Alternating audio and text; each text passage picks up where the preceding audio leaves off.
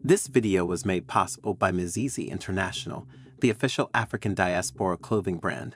Visit mizizishop.com for more information. It is no secret that the Sahel region has become a hotbed of terrorism in Africa, with various extremist groups exploiting its vast, ungoverned spaces for recruitment, training, and launching attacks. The combination of political instability, economic challenges, and ethnic tensions in the Sahel has created a fertile ground for the proliferation of terrorist activities, posing a significant security threat to the region and beyond. America has been very active in counterterrorism efforts in the Sahel, but its deployment of drone bases in the region has been a complex and controversial element of its counterterrorism strategy. Since the early 2000s, the U.S. has established partnerships with several Sahelian nations like Mali, Burkina Faso, and Niger, granting access to drone operations aimed at disrupting the movements and activities of jihadist groups like Al Qaeda and the Islamic State. However, in an interesting turn of events, America is now seeking to establish drone bases in coastal West Africa, specifically in Ghana, Ivory Coast, and Benin, signaling a monumental shift in its counterterrorism efforts on the continent. Why is America now looking away from the Sahel and focusing on these coastal West African states as the new hosts of its drone bases in Africa? And how could this shift impact counterterrorism efforts on the continent? In today's video, we will offer deep insights into these questions and more. Before we dive into our topic today, if you haven't already, please consider subscribing to our channels and ringing the bell to be notified about all our exciting future videos.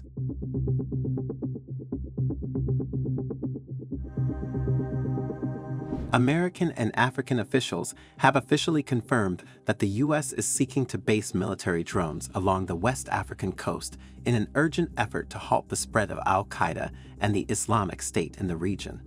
The United States is in preliminary talks to allow American unarmed reconnaissance drones to use airfields in Ghana, Ivory Coast, and Benin, all of which are countries on the Atlantic Ocean. America has reportedly proposed basing drones at Ghana's Air Force Base in Tamale, which is close to the Burkina Faso border. According to a senior U.S. intelligence official, three Ivory Coast airfields are also being considered. And in Benin, the U.S. has its sights set on Parakou, a town far enough from the Burkina Faso border to provide a buffer against militant ground attacks while remaining within striking distance of the volatile north. Drones may also be used to gather aerial intelligence on pirates operating in the Gulf of Guinea.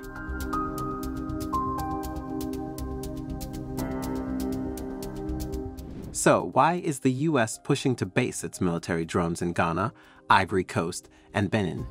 First and foremost, this is because the situation on the ground in the Sahel region and countries has complicated America's counterterrorism efforts to an extent that the U.S. now has no choice but to look elsewhere to operate. Indeed, the Sahel region, particularly Mali, Burkina Faso, and Niger, faces a complex and evolving security landscape plagued by jihadist groups affiliated with Al Qaeda and the Islamic State. Since 2017, these groups have unleashed violence, claiming the lives of over 41,000 people and displacing millions. The situation on the ground varies depending on location, with rural areas often bearing the brunt of attacks and instability. While security forces fight back, the groups exploit weaknesses in governance and porous borders, making counterinsurgency efforts challenging. Further complicating the situation has been a wave of military coups in the most violent countries in the Sahel. Mali, Niger, and Burkina have all experienced coups in recent times, and all three military regimes ordered the withdrawal of French troops who had been leading the West's military response in the region. These countries then turned to Russia, holding various talks on military cooperation in recent months with various Russian officials. The coups triggered U.S. laws that limit security assistance to military juntas, as well as disrupting the U.S. military strategy of sending American commandos to the region to train elite local units. For instance, the U.S. constructed a $110 million base in Agadez, Niger, and stationed approximately 1,100 troops there to train local commandos and provide real-time oversight and intelligence during Nigerian army counterterrorism operations. However, immediately after the Niger coup in July 2023, the United States suspended military aid to Niger and reduced its troops' presence to approximately 650 troops. Consequently, the effort to build up American forces in the coastal states suggests that Washington believes Mali, Burkina Faso, and Niger are so overrun with Islamist militants that they are now untrustworthy and beyond Western saving. The Niger coup has forced our hand, said retired Air Force Major General Mark Hicks, the former chief of U.S. Special Operations Troops in Africa. There's really not much option other than to fall back and operate out of the coastal West African states, he added.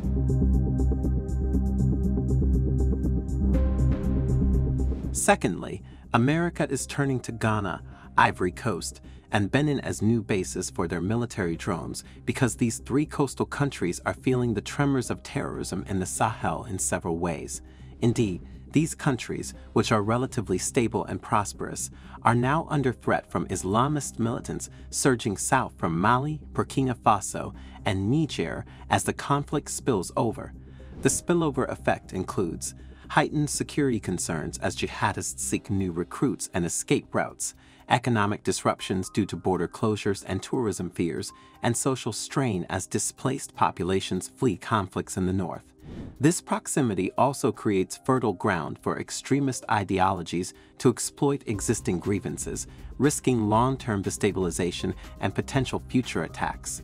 Already, there is enough evidence to suggest that these countries are more unstable than they used to be due to the spillover from the terrorist action in the Sahel. For instance, Benin, which is closest to both Burkina Faso and Niger's borders, has suffered the most so far.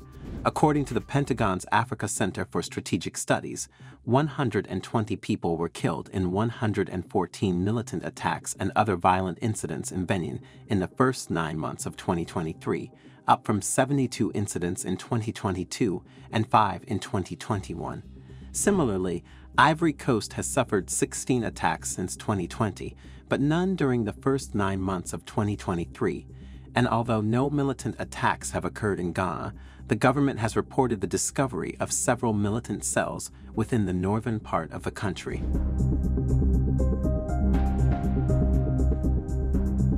While these coastal governments are bolstering security and seeking regional cooperation, it is clear that the Sahel's turmoil presents a clear and present danger to their stability and prosperity. Coastal West African countries that used to be insulated no longer are, said a senior U.S. military official.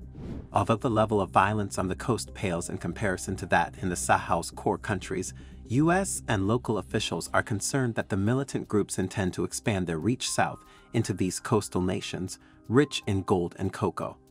Consequently, the U.S. believes that having drone bases in these countries is a proactive way to ensure they are supported in their fight against terrorism spillover from the Sahel. Drones would enable American forces to conduct aerial surveillance of militant movements along the coast, as well as provide tactical advice to local troops during combat operations.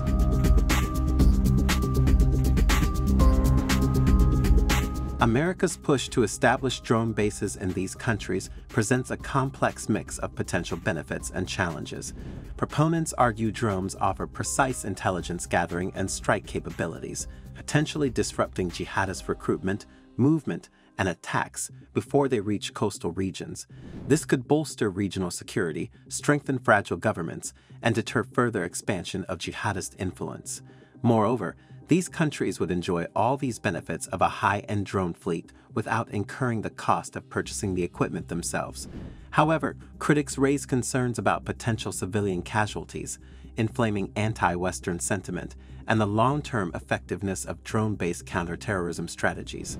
Additionally, drone bases might not address the root causes of Sahel instability, potentially creating a temporary bandage instead of tackling the broader issues driving extremism.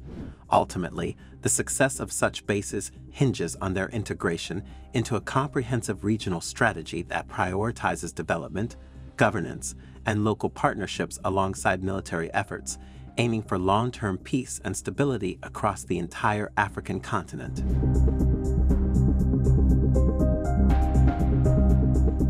Your perspective matters. Do you think Ghana, Ivory Coast, and Benin should allow American drones into their territories to help combat terrorism threats from the Sahel? Share your insights and thoughts in the comments below. For continued updates on global affairs and diplomatic developments, be sure to subscribe to the New Africa channel. Stay informed, stay engaged.